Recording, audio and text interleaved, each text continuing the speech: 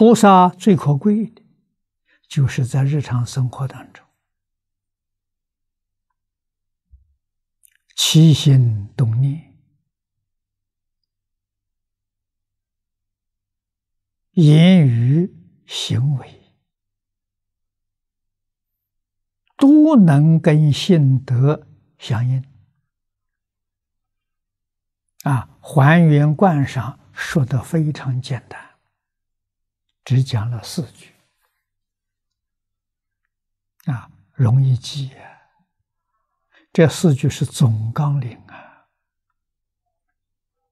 啊，第一个是随缘妙用，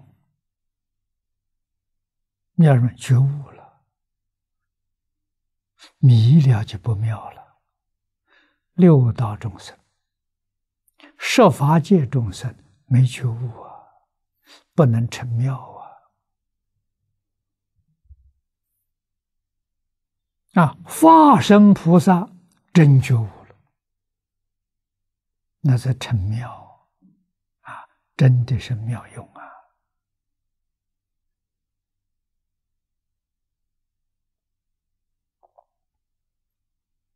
啊，这是自己悟了。啊，是用在什么地方表现呢？威仪有责，对，表现在外面。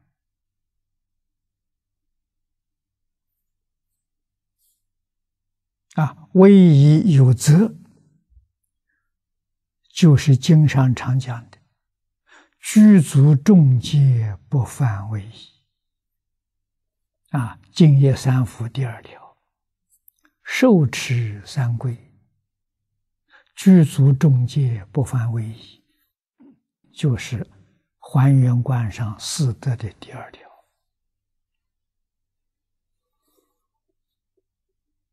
啊，第三是讲我们处事待人接物的心态。啊，什么心呢？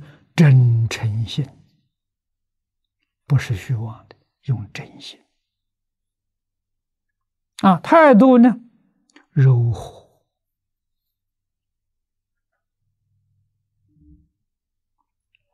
孔子的学生赞叹老师的德行，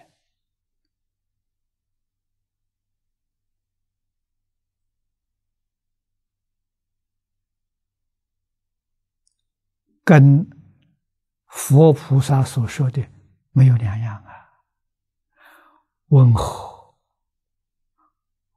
恭敬啊，温良恭谦让啊，善良、恭敬、忍让、节俭啊，在还原观上只用了四个字：如何制止。啊，最后一条。待众生苦，那就做好样子给众生看呢。啊，释迦牟尼佛当年在世，为我们实现的八相成道，那是待众生苦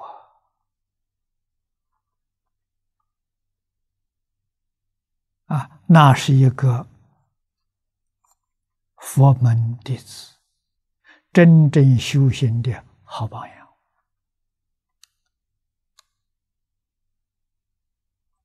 啊！如果我们不常常想着、常常体会、认真的学习，那世尊这个实现不叫白实现了，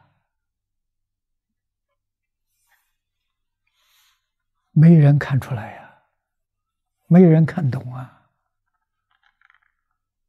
啊，我们到哪里去学习？啊，我们对于世尊身心言教啊，要有深刻的体会。啊，要学的跟他一模一样，我们自己就成就了。